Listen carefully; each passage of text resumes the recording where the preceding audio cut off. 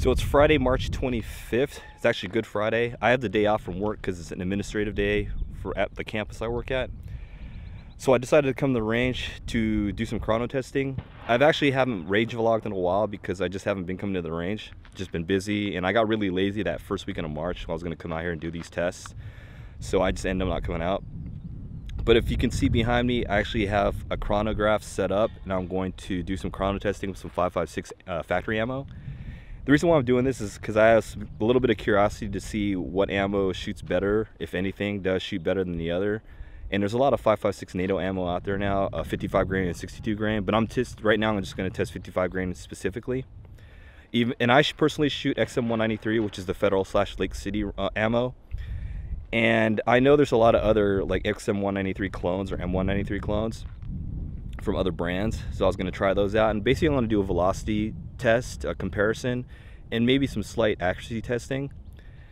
I don't have a scope on my gun, so it's gonna be it's not gonna be perfect, but it should still give a comparison in a controlled environment for how I shoot. But there's actually it's kind of busy here at the range right now because they're setting up for a match. Today's Friday, tomorrow uh, this weekend they have matches going on, so they're setting up uh, in preparation for Saturday. So I'm gonna try to hurry up and get out of here. So I'm gonna do my test and get out. So it's probably gonna be a short range session, but I just want to hopefully get some data down so I can write it down and get it all prepped for an article I'm gonna write on this ammo that I'm testing if you can see um, and if you can hear me i'm testing seven types of factory ammo specifically winchester 556 nato 55 grain ammo. Some independence 556 55 grain ammo. The wolf is actually a 223 remington. Pmc 556 193 55 grain american eagle Federal, which is their 223 Remington round, 55 grain, and then the actual American Eagle package Lake City 556 NATO spec round, 55 grain. And I have some IMI, Israeli Military Industries 556 and 193 spec. So this should give a pretty good uh, range of ammo to test. And while I was trying to do 556 NATO 55 grain, I did want to include the Wolf Gold 223 Remington and American Eagle 223 Remington, SAAMI spec rounds. I, I think they're SAAMI spec.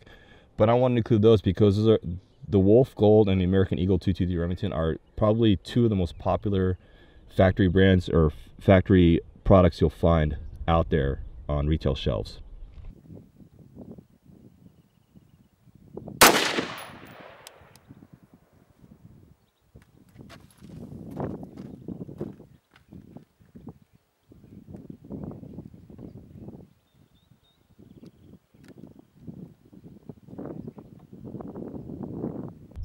So in my haste to get started shooting, uh, doing chrono testing, I actually melted the label off the chronograph display.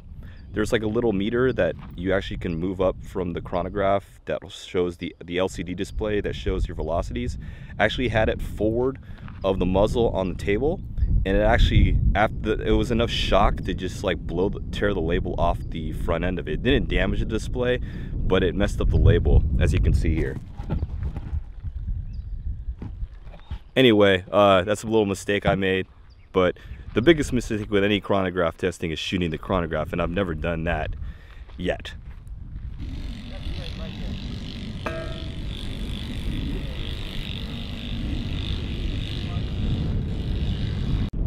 I had to take a short break from chrono testing because they're setting up for tomorrow's match in my bay. This is uh, Bay 11 at the West End Gun Club.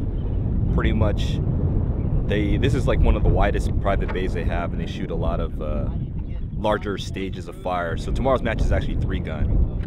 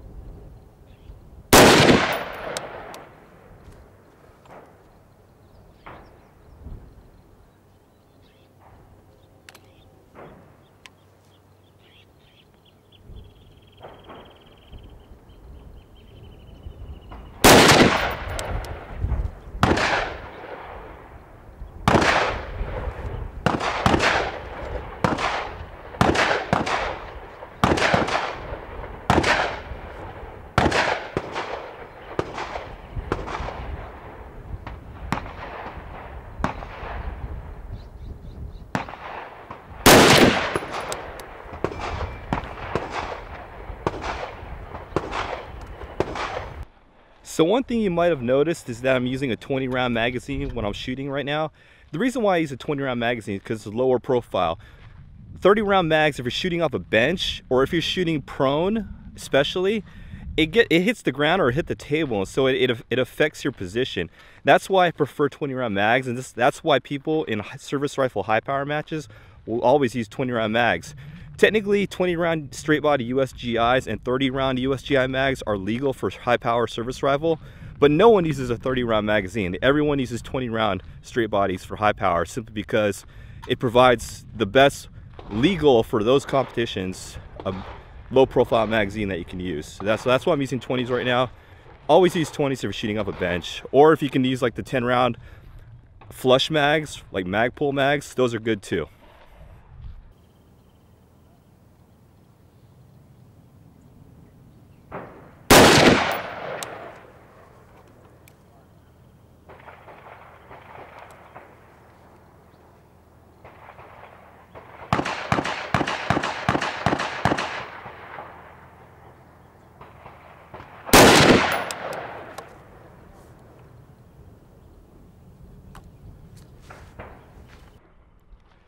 So I'm pretty much done shooting all seven types of ammo I wanted to chrono test today.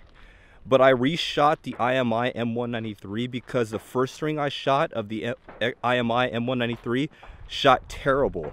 And I thought something might have been wrong with my position. So I moved on and started shooting the other ones. The other, the rest of the ammo I needed to test. So I just shot, reshot IMI. I'm about to go check on it right now.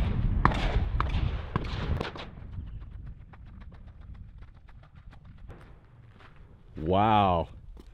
Okay, so this is the this is the IMI M193 and it shot terribly bad. It's got a lot of flyers.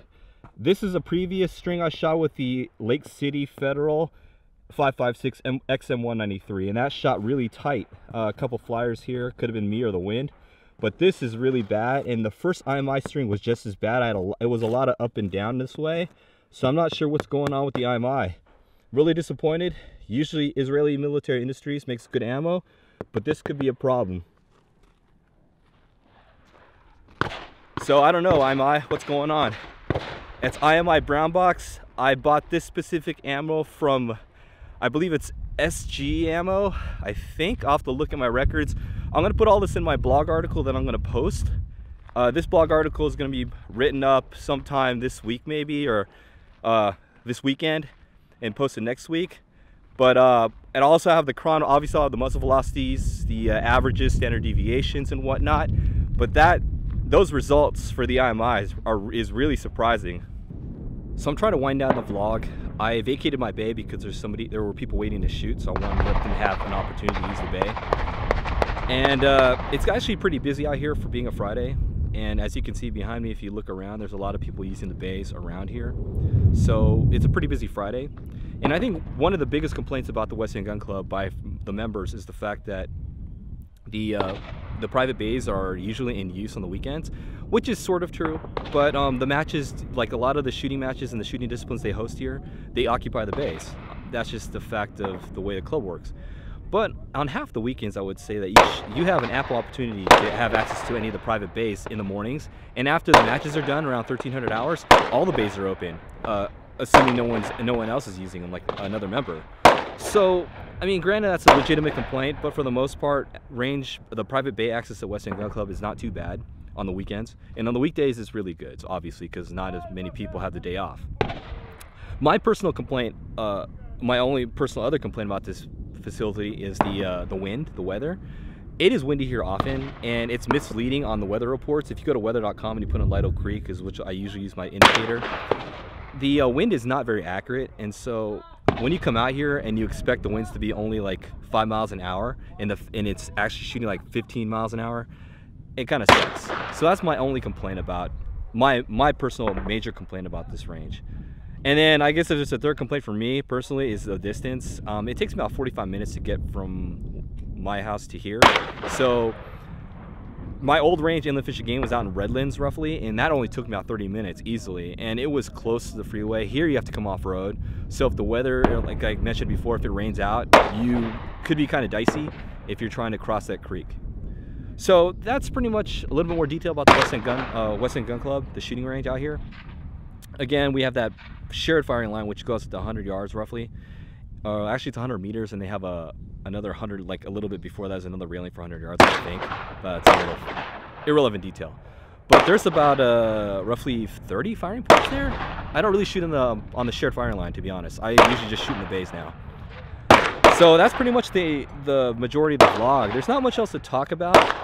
Uh, I know it's a short vlog, and all I did was chrono, chrono test today, but stay tuned for that article I'm going to write. It's on that ammo that I tested. It's going to be pretty extensive, and I'm going to have a lot of the muzzle velocities and the calculations, and a lot of photos, obviously, since I take a lot of photos.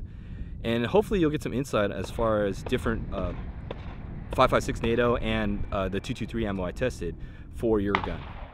Anyway, that's the vlog. Today's Friday, March 25th. It's Good Friday. And I'm probably not going to vlog again. Maybe I might come out you tomorrow. No, I don't. Have a happy Easter.